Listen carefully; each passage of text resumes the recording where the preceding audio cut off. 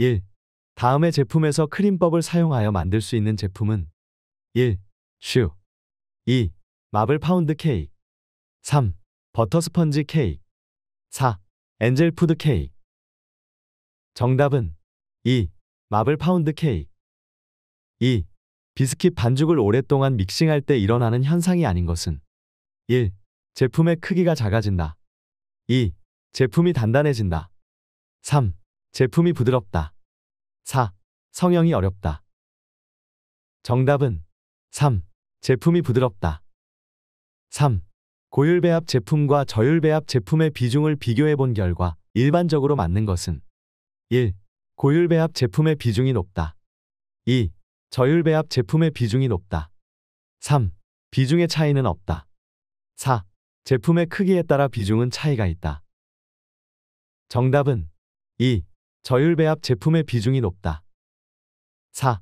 퍼프 페이스트리 제조 시 굽기 과정에서 부풀어 오르지 않는 이유로 틀린 것은 1.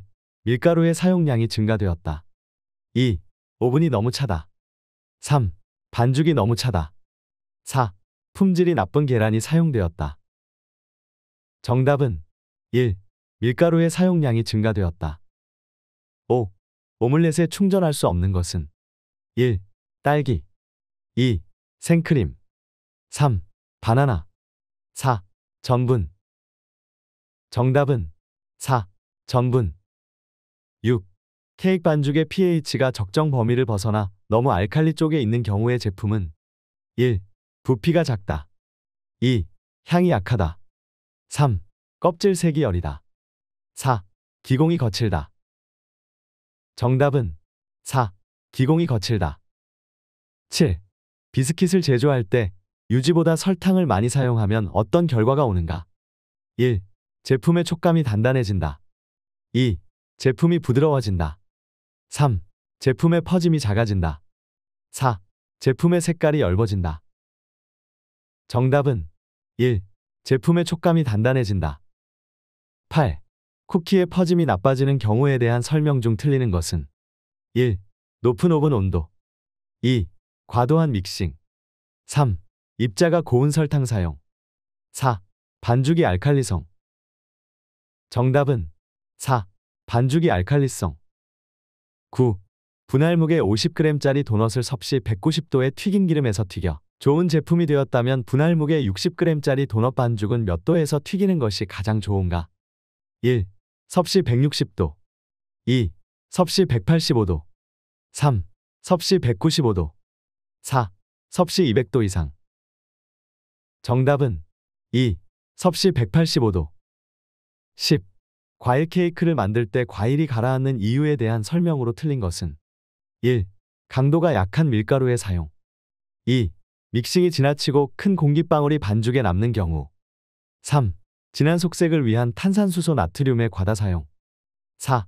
시럽에 담근 과일의 시럽을 배수시켜 사용 정답은 4.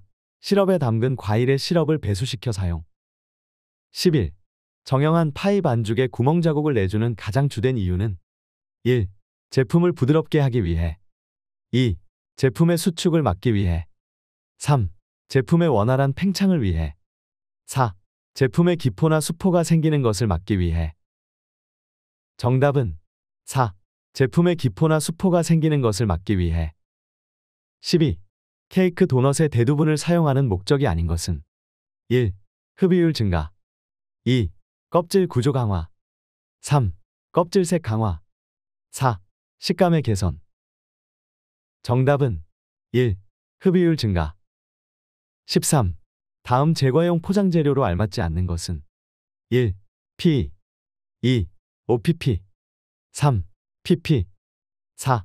일반 형광종이 정답은 4.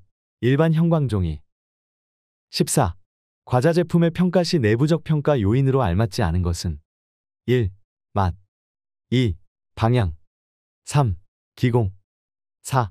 부피 정답은 4. 부피 15. 파운드 케이크 반죽을 팬에 넣을 때 적당한 팬닝비는 1. 50% 2. 55% 3. 70% 4. 100% 정답은 3. 70%. 16. 반죽을 스펀지법으로 만들었다. 도우 반죽에서 이스트를 소맥 분량의 0.5%를 추가하고자 한다. 이때 추가할 이스트의 양은 반죽 총량 160kg, 소맥분은 반죽 총량의 60%. 1. 0.48kg. 2. 0.52kg. 3. 0.60kg. 4. 0.66kg. 정답은 1. 0.48kg. 17. 다음 제품 중 반죽을 가장 많이 발전시키는 것은 1. 불란서빵 2.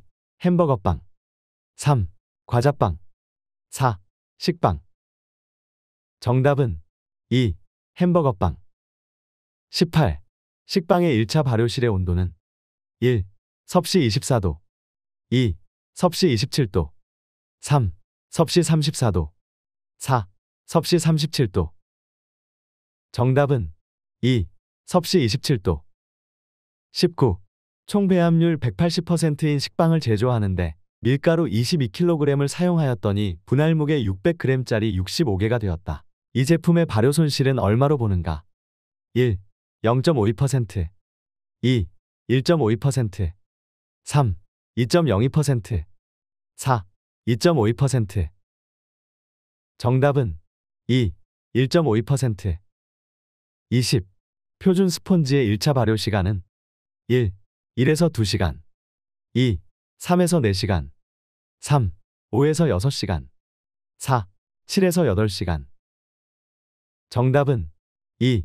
3에서 4시간